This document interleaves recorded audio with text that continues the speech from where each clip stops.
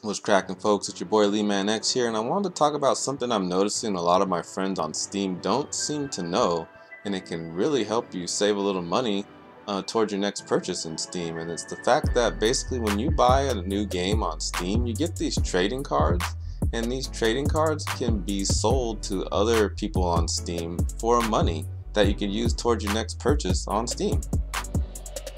So it's not really like big time money. It's really only like I think each card on average is like you get 10 cents for it. I've got a couple that for 20 cents and 30 cents, but it adds up over time.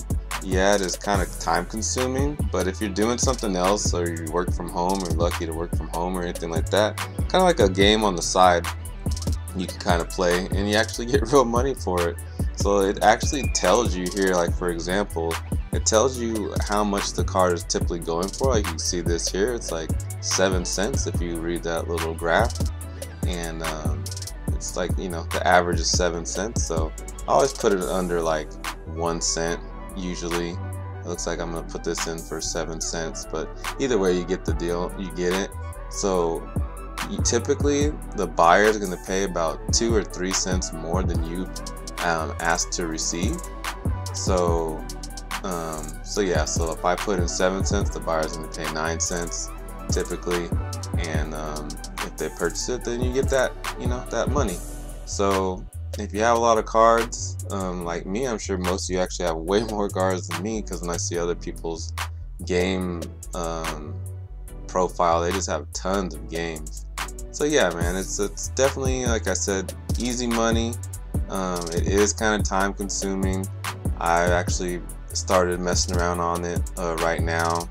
About an hour has gone by since I recorded this, and I made like a dollar, you know. But like I said, if you're working from home doing something on the side or playing games and just want to have something to do on the side, over time you're probably going to spend all day on your games anyway.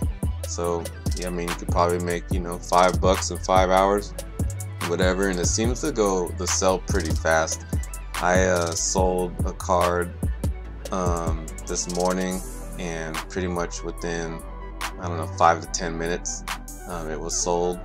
And uh, so now I have a whole like list of things I'm trying to sell because uh, I actually did this years and years ago, but again, it's so time consuming. It's like, oh, I don't really feel like doing it. But at least you guys know you can decide. Like I said, if you're bored and want to do something, and uh, you know you're maybe pinching uh, pinching pennies.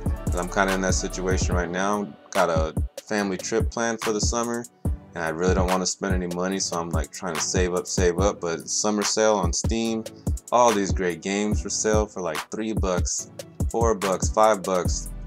So if I was able to scrap together, you know, a buck or two on here, and uh, you know, get a get a game almost for free, basically if it was three bucks, four bucks. So, anyways, just saying if you're uh, trying to watch your watch your wallet watch that money maybe it's something worthwhile doing for you. So anyways i hope this helps you guys out.